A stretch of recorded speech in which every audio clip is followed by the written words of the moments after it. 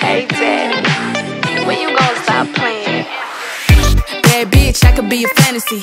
I could tell you got beat.